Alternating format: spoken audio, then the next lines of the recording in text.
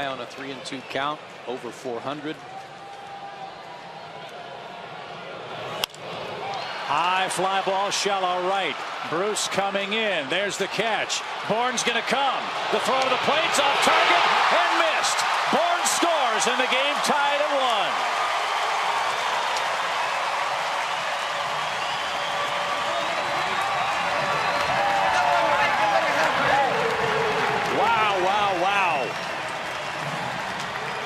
Jay Bruce has one of the best arms in the National League. He was only about 175 feet away and Michael Bourn scored anyway. The throw off the mark. Mesoraco didn't come up with it.